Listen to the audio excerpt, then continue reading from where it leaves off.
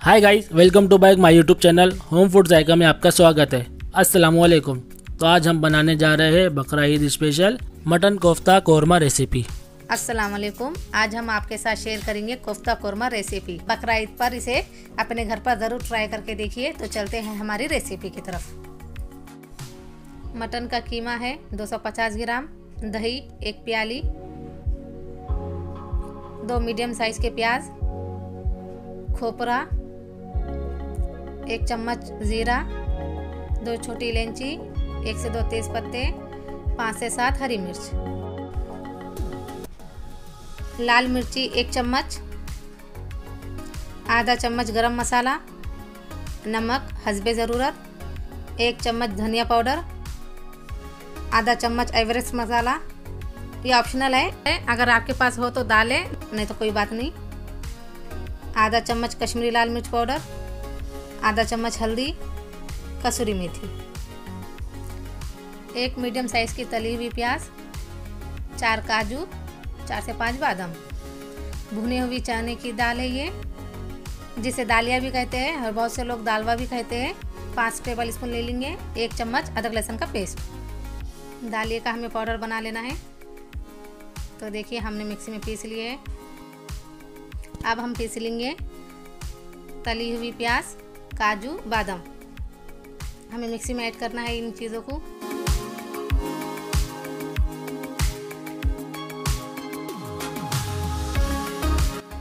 अब इसी में ही दही भी ऐड करेंगे हम।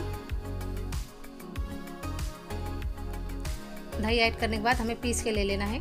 बारीक पेस्ट बना लेना है। हमारा पेस्ट बनकर तैयार है।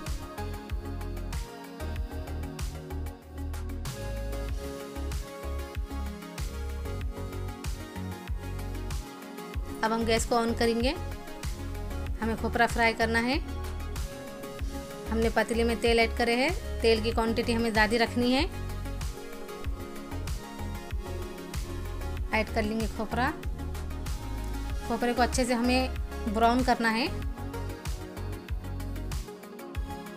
खोपरा बहुत जल्दी जल जाता है तो आपको ध्यान रखना होगा। खोपरा हमें ज़्यादा जलाना नहीं है।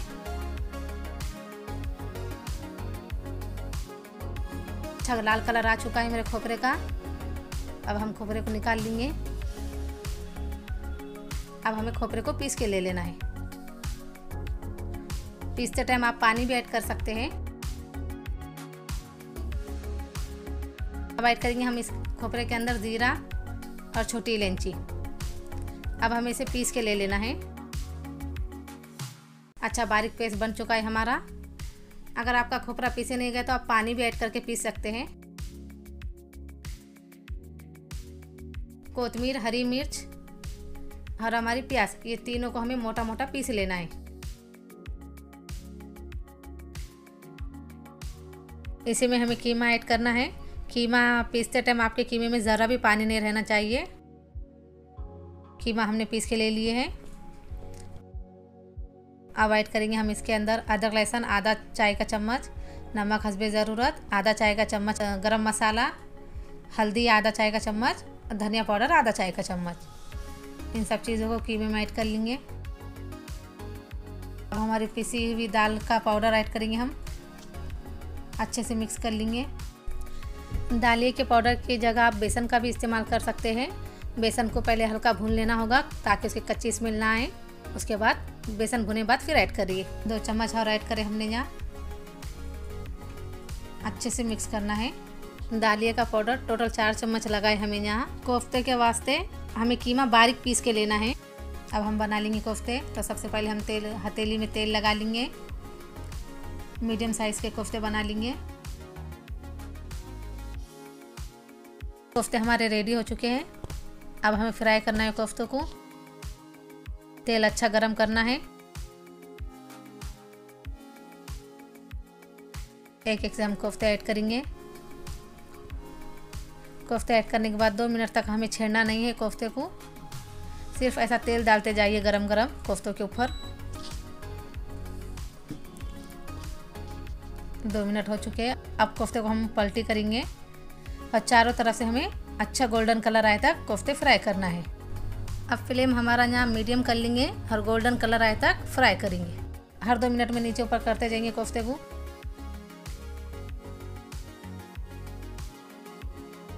देखिए अच्छा गोल्डन कलर आ चुका है हमारे कोफ्तों का। अब हम निकाल लेंगे। अब हमें तेल की क्वांटिटी कम कर लेना है। तीन से चार टेबल स्पून तेल रखेंगे हम। अब ऐड करेंगे हम इसमें गरम मसाले, एक इलायची, दो तेज़ पत्ते दो से तीन टुकड़े दालचीनी के।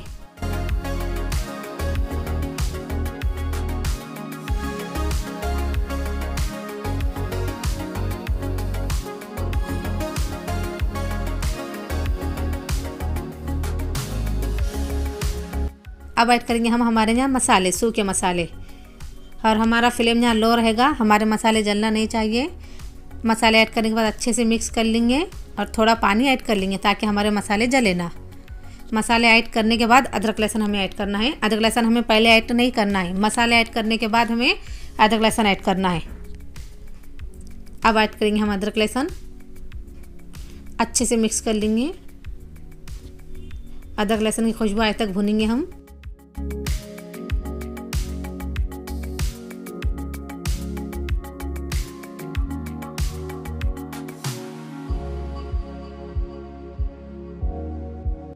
अदरक लहसुन हो चुका है हमारा अच्छे से।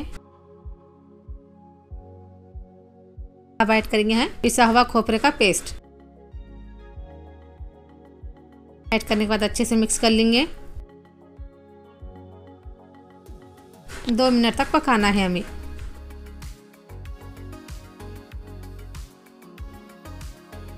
दो मिनट हो चुके हैं। एक बार देख लेंगे। अच्छे से मिक्स करेंगे।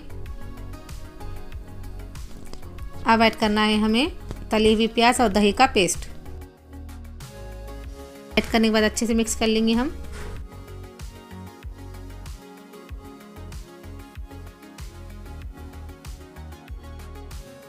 अब इसे तीन से चार मिनट पका लेंगे। तीन से चार मिनट हो चुके हैं हमारे। माशाल्लाह, देखिए गाइस तेल भी हमारा सेपरेट हो चुका है। यानी मसाला हमारा अच्छे से भुन चुका है। अब ऐड करेंगे हम पानी। मुझे यहाँ ग्रेवी चाहिए था, इसलिए पानी थोड़ा मैंने ऐड करी हूँ।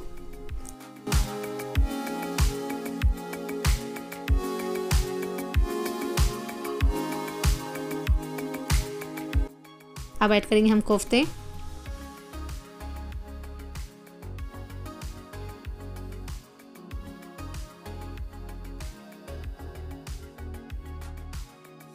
कोफ्ते ऐड करने के बाद पाँच मिनट तक पका लेंगे हम।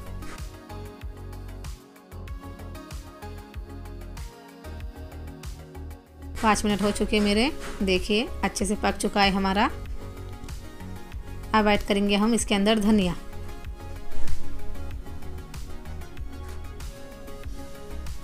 अच्छे से मिक्स कर लेंगे। गैस को ऑफ़ कर देंगे और ढक के रख देंगे।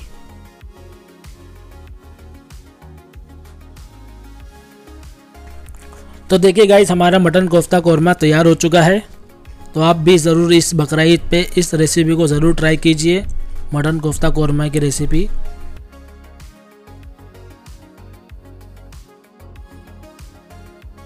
अगर आपको हमारी रेसिपी पसंद आई तो लाइक कीजिए शेयर कीजिए और अभी तक आपने हमारे चैनल होम फ़ूड जायका को सब्सक्राइब नहीं किया तो प्लीज़ हमारे होम फ़ूड जायका चैनल को सब्सक्राइब कीजिए और बेल आइकन को ऑन कीजिए। तो जब भी हमारी नई कोई रेसिपी आएगी तो सबसे पहले आप तक पहुँच जाएगी। तो मिलते हैं नेक्स्ट वीडियो में नई रेसिपी के साथ। खुदा हाफिज़। अल्लाह हाफिज़।